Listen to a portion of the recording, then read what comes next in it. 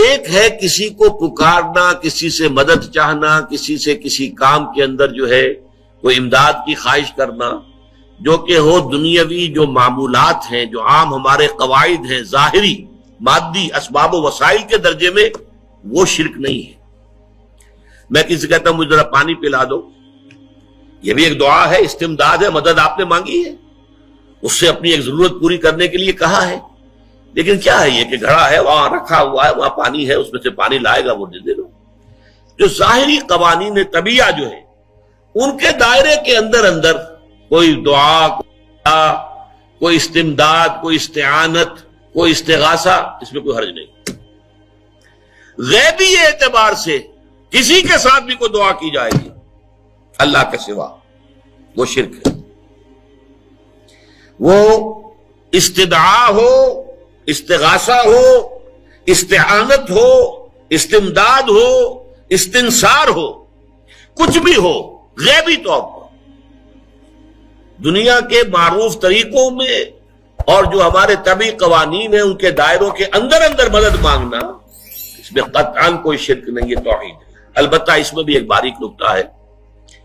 एक बुज़ुर्ग थे जो फौत हो गए, उन्होंने ये बात मुझे जिस तरह समझाई थी, वो आज भी मैं उनका मशहूर हूँ। का दुनिया में आम कायदे कानून के तहत भी किसी से कुछ कहना कि भाई मेरा ये काम आप कर दीजिए, आप कर सकते हैं। एक दफ़ा कहना जायज़ है।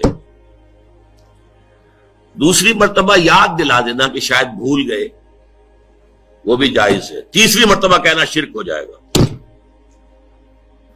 तुमने ये समझा है कि तुम्हारा काम यही कर सकता है। काम करने वाला तो अल्लाह है। ला फिल हकीकत वला मुआसर हजूर ने फरमाया कि अगर तुम्हें जूता बांधने का तस्मा दरकार हो, तब भी अल्लाह से मांगो। किसी के सामने सवाल का जो हाथ जो है वो दराज ना करो।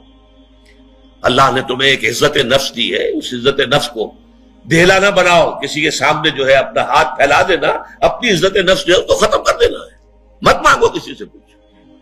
लेकिन ये कि ठीक है, दुनिया में काम चलता है। हजूर का शक्की शान तो यह थी कि अगर आप सवारी पर होते थे और आपकी छड़ी गिर गई तो सवारी को बिठा के उससे उतरकर छड़ी खुद उठाते थे। आप किसी अपने साथी से ये नहीं कहते थे कि मेरी छड़ी पकड़ा दोगी। आपकी तो गैरत का आलम जो है वो बहुत बुलंद था, बहुत बुलंद था, बहुत बुलंद था। लेकिन दुनिया भी आम तरीके से ये कि ठीक है भाई, आप एक काम है, आप कर सकते हैं, ये कर दीजिए।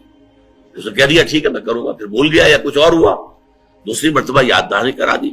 तीसरी मरतबा जो है, उन्होंने कहा कि फिर उसमें शिर की बू आने लगती है। कि मालूम होता है कि आपने समझा है कि इसी को इख्तियार हासिल है, यही मुख्तदिर है। इसी को आपका काम करने का जो है, वो पूरी कुत और कुदरत हासिल है और ये चीज़ जो है, ये शिर की बू उसमें से आनी शुरू हो जाती लेकिन यह है मामला सारा, जो असबाब आदिया के तहत, उससे मावरा आप किसी को नहीं पुकार सकते। देखिए, सबसे बात नुकते की बता दूँ आपको। फरिश्ते को तो हम मानते हैं ना। हज़रत शेख अब्दुल कादिर जिलानी रहमत की रूह है या नहीं है, सुनती है, नहीं है, हाजिर है कि नहीं है, नाजिर है कि नहीं है, सौ इख्तलाफ हो जाएँगे। इख्तलाफात की तो गुंजाइश है ना। फरिश्ता है या नहीं है? वो तो फरिश्ता तो है। आपके दोनों कंधों पे बैठा हुआ है। किरामन कातबीन है कि नहीं है? हफजा। आपके जो बॉडी गार्ड अल्लाह फरिश्ते नहीं भेजता। लेकिन आप फरिश्ते से भी नहीं कह सकते कि मेरा ये काम करो।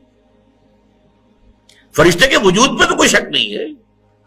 या जिब्राइल, मेरा ये काम करो। कतल नहीं, गलत। शिरक। ला तदरू अहदा। अल्लाह के सिवा पुकारना किसी को नहीं है। दुआ किसी से नहीं है। इस्तेगासा किसी का नहीं है।